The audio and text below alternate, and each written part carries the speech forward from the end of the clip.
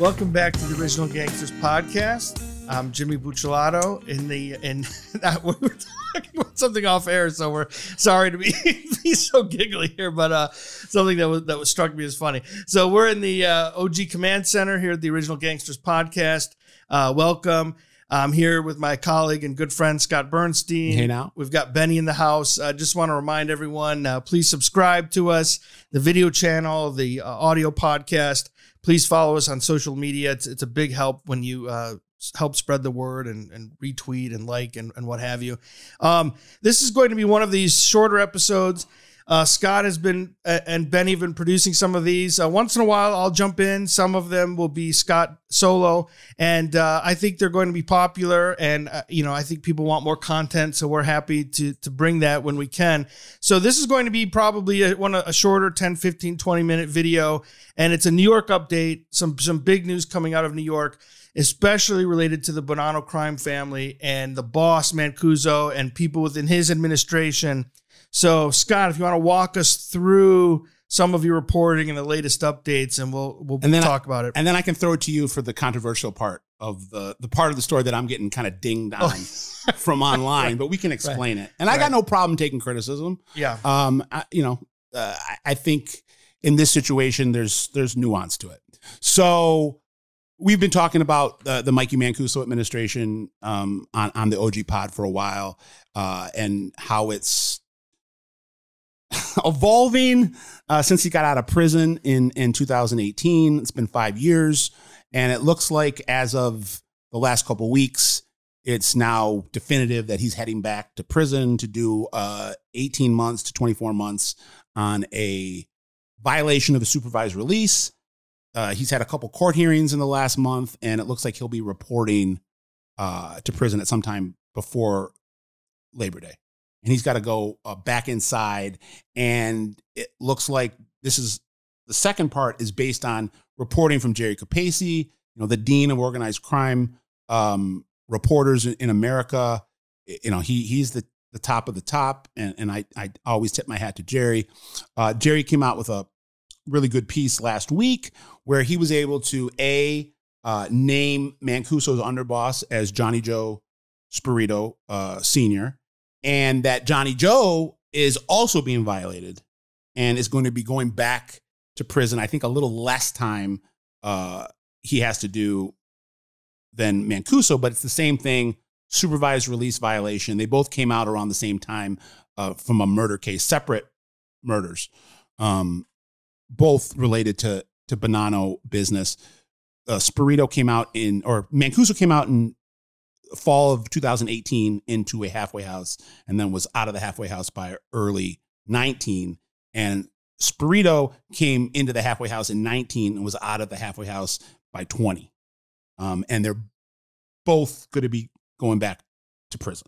Um, and that i guess brings us to the controversial part was that i think some of my reporting before jerry's reporting uh, i don't believe it was inaccurate I believe that it was dated.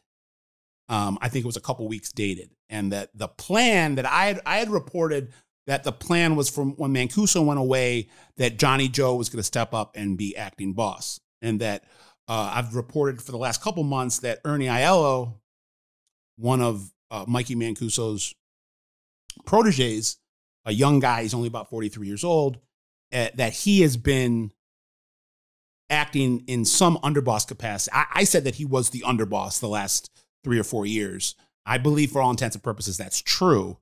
But based on Jerry's reporting, um, I think, well, going back to my sources and talking to people, Aiello has actually been the acting underboss, street boss, while Johnny Joe has been the underboss. And I misfired on um, on Johnny Joe's role, I guess, over the last couple years. Um, anybody that knows this current Bonanno group of guys knows that Mancuso and, and Johnny Joe are, are longtime best friends. They go back in that Bronx crew to the 1970s. Um, was Spirito a Purple Gang guy too? I I'm not sure. He's a Spirito was like three or four years younger okay. than Mancuso. Um, I've been told that Mancuso baptized Spirito's son, uh, Johnny Boy, who's also involved in, in the crime family. Um, so, you know, I, I can admit when I when I misfire, I, I knew that Johnny Joe was playing a, a role in things, and that's why I was told that he was gonna um, take over the, the acting boss duties when Mancuso went away. And I believe when I was told that, that's what the plan was. And then I think over the last couple weeks, or what I've been told, was that over the last couple weeks, Spirito and his attorney have been told that he's also being violated. Mm-hmm. And Jerry Jerry broke that last week. So uh, I didn't get the story 100% true. I think I got it about, you know, 80, 80 to 90%. And then I, I corrected the record. So that that's that's kind of where we are right now. So, uh, when Mancuso and Spirito go away, you're saying Aiello will be the acting what? I don't know. I don't want to Or just speculate. okay. I, Ernie, I, I think I stand by what I've reported Yeah. the last couple of months that right now in that family, everything goes through Ernie before it gets to to Mikey, and that Ernie is like the the the point of contact, kind of for everything in that family. And it started after I was told after Mancuso got out of out of prison, um, in around 1920. Aiello at that point would have just been coming up on 40. Um, started to be um,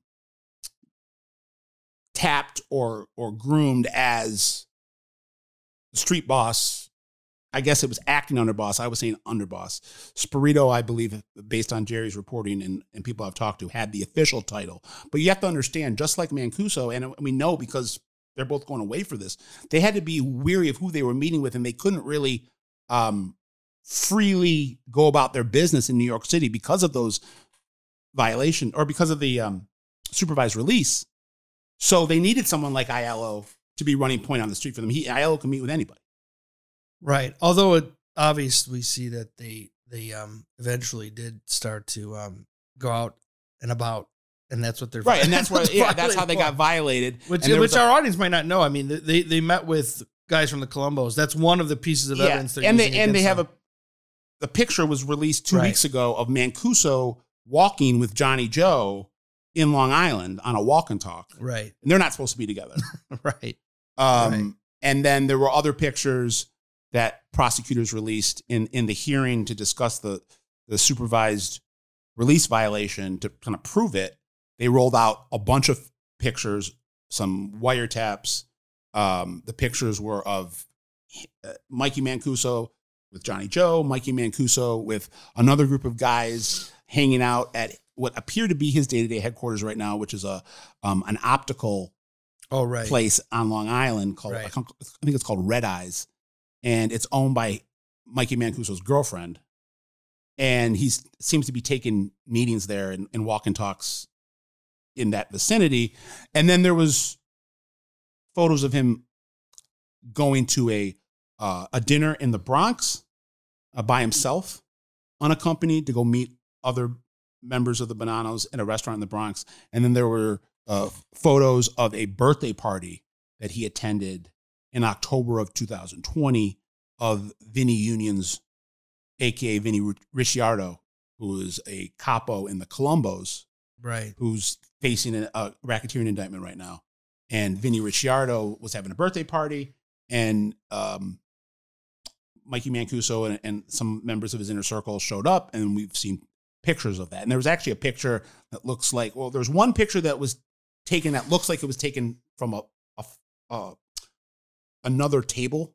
Could have been like a Fed dressed as a patron and snapping a photo. Like surprise. Right. episode. But then there was another photo that they released, which was clearly a staged photo that um that Mancuso took Oh, the guys with together. Vinny with Vinny Ricciardo Right. and some other people. Right. And they were and they were clearly smiling for the camera. Right.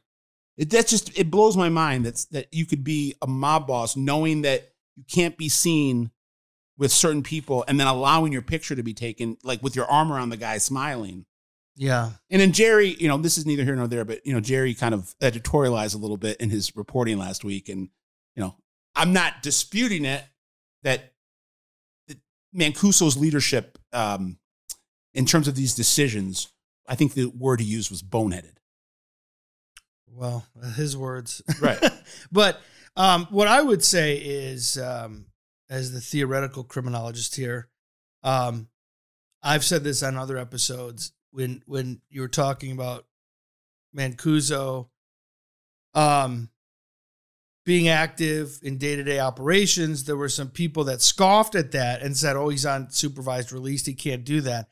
And and I just made the point, like, are, are you are you serious? You you think that career criminals? Guys who are outlaws by nature. I don't mean like like you know what I'm saying like Yeah. guys who are rogue outlaws by nature. They're they're rule breakers in their DNA. Yeah. And and there's a spectrum. Some guys, when they're on supervised release, they they try they try to do their best to stay out of trouble. But if you think every motherfucker that's on supervised release is, is laying low, Yeah. th- that's clearly not true. Um, these guys like to push things as far as they can push it, and in this case, they got They got caught. they got caught. And with Mancuso, you know, put it into context, he'd been in prison for uh, you know, roughly 15 years, and he became the official boss of the Bonannos while he was in prison. He only had about two years on the outside as acting boss, a year and a half in the 2000s. right. So he gets out in 18, 19. He's the official boss. You you want to you, know, Of course. you want to take that out for a spin. You think he's been Right, he watching wa- Netflix Right. and uh, playing fucking bingo? he wants Like, to get out there and be you know treated like he's a boss. Yeah, I mean, don't don't don't be naive about that. And it's like, oh well, if the feds knew, they they would bust them right away. Not necessarily either, Right. because it's not the same thing as tickle the wire, but it's a it's a sort of similar thing. Is they want to see who they're who they're fucking with. Yeah. they want the fans want to see who they're Well, out. that's why they to. waited. They waited three Right. years to bring Right. two two years, two and a half years. Right, right. Uh, and then we'll finish up by saying that you know what my reporting is saying, or what my reporting is telling me, my sources that um, Mikey Mancuso is is re- remaking this family over the last four or five years, and and this is part of who's going to look after the family when, he goes away. It, it all starts and ends in the Bronx, and, and he realized when he was inside that that letting the power go over to Brooklyn um, and Long Island um, with the Cammaranos and, and that faction was was the wrong move. He, he I, I I don't think he felt he had any choice. There was circumstances that he had no one else to kind of turn to to run the family, and it, it quickly got out of control because Cammarano within a year or two was trying to take the family for himself. Mhm. Um, but I, I, I think when he retroactively looks back and, and does an autopsy of that, or what I've been told, is that he, he laments not keeping the power in the Bronx. And right now, all the power in that family is really in the Bronx, with the exception of uh, Vinny Badalamenti, who is uh, Mancuso's alleged consigliere, who comes from Brooklyn. But he's on good terms with Mancuso. Yeah, he's he's. I call. Right. I've been told that he's called the the Mikey Nose Whisperer. That he Right. he can talk the um, Mancuso a way that other people can't in terms of calming him down and giving him counsel. and But- and Bruno Indelicato is still a Yeah, a powerhouse. and but Bruno and and Mikey have an up and down No, relationship. I, I know, right? That's because Bruno's understanding. so close to Vinny Basciano, Right, and right. Basciano wanted to kill Mancuso at the end. Yeah. Um, but I have heard that Indelicato is chiming in on some things and uh, sending word. He he's on supervised release right now. He just got out in the last six, five, Yeah, six months. recently, very recently. Um, but I'm told that everything's kind of in the Bronx right now. Ernie Aiello, uh, and some old school guys like uh, you know, Johnny Palazzolo, who who they call um, Johnny Skyway, who is in his 80s right now, was a former uh, acting boss for for Mancuso, who I think is the elder statesman in in that Bronx crew. But then you got Patty Boy uh, Maiorino, who I think is another guy to really keep an eye out for, either as um, somewhere in the administration. He's been a capo in in in Queens for for a little bit now, and I I've been told that with Spirito and Mancuso going away, Aiello, Maiorino, and then uh, another group of of like old elder statesmen counselors are going to help run the family. Um, but you know, Aiello will be the head of the snake, and possibly Patty Boy will be either head of the snake B to Ernie Aiello's head of the snake A, or he'll be right behind the head of the snake. And um, you know, Patty Boy was sponsored uh, for his his induction, his making into the Bonannos came from Mancuso because Mancuso was sponsored for his button by Patty Boy's dad, Chubby um, Maiorino, So sponsored yeah. Mancuso. So there's this pre-existing trust. relationship. trust yeah. Um so and then johnny boy spirito i think should also be mentioned and that's not johnny joe. There's johnny boy spirito who is the son who's 40 years old and then there's johnny joe who's the underboss who's 64 uh, and johnny boy has had a bit of a roller coaster of the last five ten years um, in terms of you know if you're going to look at uh, gangsters as, as as stocks you know the stock market has been up Yeah, and down up with and down. with Johnny Boy he he was uh, very powerful and uh, a a big um, part of the early Mancuso regime when Mancuso went to prison and was running things um, through people on the street. Johnny Boy, as a young guy, was uh, helping out with that, was relaying messages back and forth. He got in trouble for messing up some of the messages. Some people thought that he was intentionally misleading messages that were coming from prison. Mm. Um, and then when Joe Cammarano takes over, they demoted him. Uh, when Mancuso comes out of prison in, in 1819 and then his dad comes out in 1920, he's back into the good graces. Uh, Not you mean 2020. Right. Sorry. In 2020. Uh, and then the last thing I'll say about Johnny Joe, and we'll wrap this up.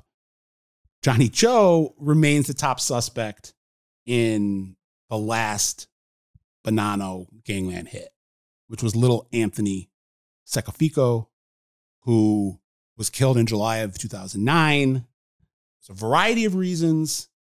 He was allegedly stealing money. He was allegedly sleeping with the wives of imprisoned Bonanno members and, and their girlfriends Mm. wives and girlfriends. And then when he was allegedly, when he was called on the carpet for some of this behavior by Johnny Boy, uh, little Anthony smacked Johnny Boy. Wow. Uh, and little Anthony was was gunned down uh, in Staten Island, uh, early morning hours of of uh, July, I think second, uh, two thousand nine, and it looked like he recognized the assailant Mm. and people believe there's been the FBI believes that that Johnny Boy might have been the shooter. So Johnny Boy's proven his his Is that merits. is that in? Uh, I mean, how do you just just so people are interested Uh, it's- in research it's- methods? I mean, what you, this is coming out of this of is coming from law enforcement and, and from Like a- an- uh, an grand jury testimony that was okay, tied into the Seccafico murder that was never brought, okay. um, as well as there, there's a lot. Of, there's a So lot. of the so the grand jury didn't find it compelling enough. No, the grand jury never brought, brought any charges, but there was there was grand jury testimony in the in the Seccafico murder. Interesting. Well, one thing I'll just say, which is kind of interesting, because I'm more interested in the in the macro stuff, and you're the you're the the man on the street, is um this shift from Massino, who who put a lot of uh, kind of white collar earners in administrative positions, and that's the direction he wanted to take things in. And then it turned out those guys couldn't couldn't handle like stiff The prison sentences. Yeah. And Mancuso, they flipped it. It's a 180. Like Now, most of those the- guys in his orbit are, are known Are as tough tough, guys. As, as tough guys. Yeah, it's- it's, you know, guys you don't brute, fuck brute, around with. brute strength and power it's is, very different. is what is going to allow you to rise in, the Mikey Mancuso regime. Right. Yeah. So it's kind of an It's interesting. an inter- it's an interesting, uh, you know, I guess point of departure or, or uh, uh, discerning between the two regimes. Yeah, I think so. And and we know historically, like a family like Detroit always had that. I know it's smaller scale than New York. I'm well aware of that.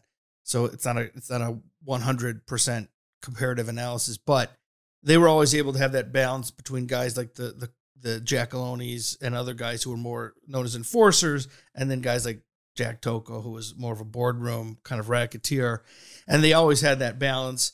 Um, obviously, it didn't work in the Gambinos.